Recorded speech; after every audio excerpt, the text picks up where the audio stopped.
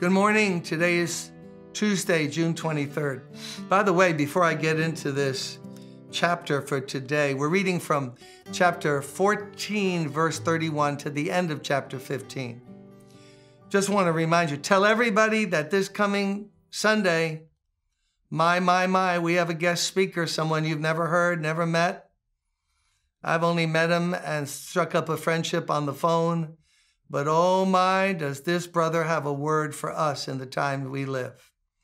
So just get ready for a special message this coming Sunday. So now, verse 31 of chapter 14, they've crossed the Red Sea. And when the Israelites saw the mighty hand of the Lord displayed against the Egyptians, the people feared the Lord and put their trust in him and Moses and in Moses, his servant. Then let's just scope it out verse chapter 15 then moses and the israelites sang this song to the lord the first song we have them singing and it takes up a good number of verses verse through verse 18 and uh, then miriam the prophetess she has a little song that only lasts a verse. Sing to the lord for he is highly exalted. Both horse and driver he has hurled into the sea and then it says this Then Moses led Israel from the Red Sea. They went to the desert of Shur. For three days they traveled in the desert, following the cloud, without finding water. And when they came to Marah, they could not drink its water because it was bitter. That is why the place is called Marah. So the people grumbled against Moses, saying, What are we to drink? And then Moses cried out to the Lord, and the Lord showed him a piece of wood. He threw it in the water, and the water became fit to drink. There's more to the chapter, but let's just dive into this. The Bible says that when they passed the Red Sea, crossed it, the people saw the power of God. They had already seen the glory of God. But these were people who didn't have faith in God in God, essentially. They just had faith that was spurred on by the last miracle they had to see. And when that miracle wore off, it was like, let me go back to Egypt. There are people like that today. They have great faith, but unfortunately, it lasts for about 18 minutes. And then we go back to unbelief. So they believed in God, albeit temporarily, but also they put their faith in Moses. Notice how the people at times would put their faith in Moses or trust him because God vindicated Moses. That's a word for any pastor watching today. The way God will hold us so that the people will trust us is not because we're perfect and not flawed, but because they sense God is with him. God is with her. That leader, God is with them. They're sincere. They're trying to do God's will. That's just a little sidebar for anyone in leadership. Anyone over you, that goes for moms and dads too. You can't just be yelling at people and kids. You got to have them understand I'm doing this because I love you and, and God now bear witness to my leadership. Well, then Moses and the folks had their first song. It was a big song back then. It was number like one on the list for a long time. The song of Moses and of Israel. And you can read it. I don't want to go into that right now. But I do want to point out this. They never learned to sing when in trouble. They only sang when they saw the Red Sea open. Now, there's another good lesson. See, in the New Testament, Paul and Silas were in prison in Philippi in the book of Acts, and they sang at midnight in the prison. Why are you singing? Because the Lord is good. And we're doing his will and Jesus died on the cross, and now we're suffering for with him, for him. Oh, praise God from whom all blessings flow. Praise him, creatures here below.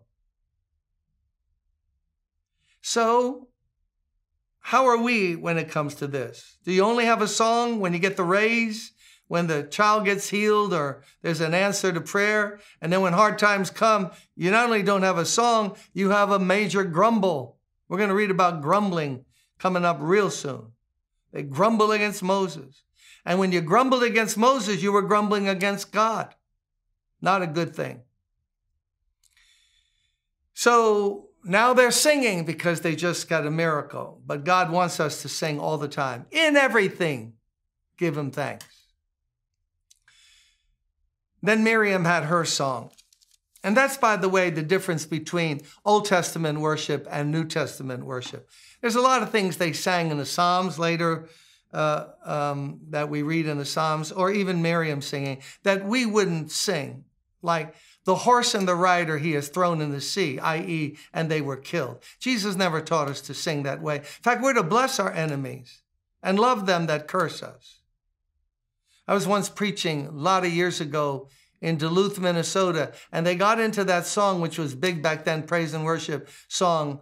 Uh, they were singing everything from the Psalter and from the Old Testament. Some of it's very good and applies. Some of it is not so good. Like, uh, God, uh, throw my enemies down slippery rocks and let their children's heads break open. Not the best song for Sunday morning. So they kept singing, the horse and the rider, he's thrown in the sea. Horse and the rider, he's thrown in the sea. And I thought to myself, that has like no relationship to my life. I have a lot of needs and I want to praise the God, praise God, but I do not want him to throw any horse and rider in the sea.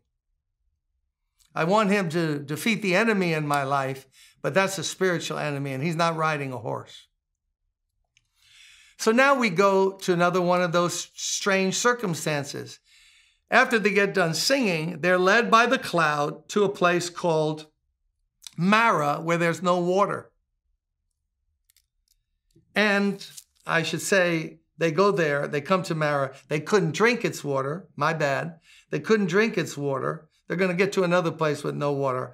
But they get to Mara and they couldn't drink it because it is bitter. And here we go again a test, and now they're not singing anymore. Guess what? They're grumbling. So they were singing and then grumbling, grumbling and then singing. That was their that was their their their history with God as they leave Egypt. One day, horse and the rider, he's thrown in the sea. Grumbling against Moses, God, what are you doing? You led us to this place. It's bitter waters. It's not easy here. You ever taste some of this stuff? Oh, I want to mature so that I can be like what James says. Count it all joy when you come into all kinds of trials and tribulations. How about you? I'm not there yet. I want to get there though. I want God to work in me so that I'm not like the Israelites, singing at victories and grumbling in hardship. Isn't he, wait a minute, isn't he the same God? Did he change? The God that opened the Red Sea, isn't he God that led us, permitted them to get to Marah where the water was bitter? And he has an answer. He wants to show his power again. He wants to show you that bitter situations can become sweet. Moses throws a piece of wood in the water, and miraculously, it is now sweet, and they're drinking. I wonder if they were shamed when they were drinking the sweet water and saying, Man, our bad, Moses, our bad. We were just grumbling, wanting to go back to Egypt. Like, sorry, this water's so good. How is that? How is it with us? Are we yo yo Christians or are we solid? Oh, I've met some real solid Christians in my own congregation and through my life, ministers, missionaries. Oh my, like a rock, like a rock. They're praising God every day. You would even not know what they're going through. Others, we wore our we wear our heart on our sleeve. And you know, within, you know, 15 seconds, something's wrong. Lost our joy, not praising God. Why? Eh, we're going through Mara. We're going through something bitter. Come on, God permitted it. We're going to grow up. Our faith is going to get stronger. And we'll be able to tell people God can take sour situations and make them sweet. So be it, Lord. Amen.